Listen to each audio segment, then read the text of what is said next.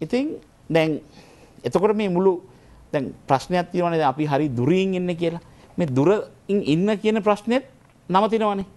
මොකද අපි දැන් ගත්තොත් එහෙම මිනිසුන්ගේ අත්‍යවශ්‍යම දේ මොනවාද කියලා කිව්වොත් ෆැමිලි එක ඒගොල්ලන් කියන්නේ අපිට අත්‍යවශ්‍යම දේ තමයි এডুকেෂන් එක. ඒ කියන්නේ අධ්‍යාපනය. අධ්‍යාපනය තමයි මුලට තියෙන්නේ. ඊළඟට තමයි කෑම එහෙම අවශ්‍යතාවය තියෙන්නේ. ඉතින් දැන් දැන් අධ්‍යාපනයේට වුණත් මේ පාරවල් හැදලා තියෙන එකෙන් ඉස්සර ළමයෙකුට ඉස්කෝලේ යන්න පැයක් යනවා නම් ඒක දැන් විනාඩි 40කට විතර අඩු වෙලා තියෙනවා. සමහරක් වෙලාවට මේ විනාඩි 20යි ළමයාට නිදා ගන්න පුළුවන්.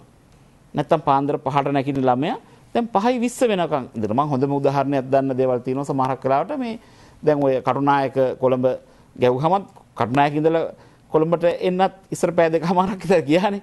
ඉතින් හතාමාට ඉස්කෝලේ එන්න ඕන නම් කොළඹ අරහෙන් එන්න ඕනේ පහට.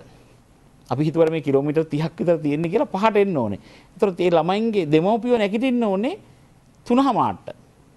හැබැයි මෙහෙම නැගිටින දෙමව්පියන්ට නිදාගන්නේ පැය 4යි 5යි. හැබැයි එතකොට ශාරීරිකවල ඔළුවේ කැක්කුම් අරමය ගොඩාක් දේවල් තියෙනවා. මේ පාර හැදුවාම මේ ඔක්කොම අඩු වෙනවා. අර අම්මා දන්නවා පැයකින් ළමයාව කොළඹ ගේන්න පුළුවන්. හය අම්මාට තමයි එහෙන් එන්න ඕනේ. ඒතර නැගිටින්නේ පහට. තව පැයකමාරක් විතර නිදාගෙන තියෙනවා. ඉතින් මේ දැන් පාරවල් හදන එකේදී දැන් අපි කිව්වොත් දැන් මාර ඉඩම් වල විතරයි ඒක කිව්වේ. සෞඛ්‍යයටත් හොඳයි.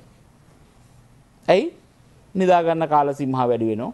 ඉතින් ඒ වගේ මේ මේ මේ පාරවල් තමයි ඇත්තටම ලෝකෙ හැම විප්ලවයක්ම කරලා රටවල් සංවර්ධනය වෙච්ච තැන්වල ඒක තමයි කරලා තියෙන්නේ. හැබැයි ඊට ඔබට ගිහිපු මම තව දෙයක් දැක්කා මේ මේ මේ අයවැයත් එක්කම. මොකද්ද? දැන් ඉස්සර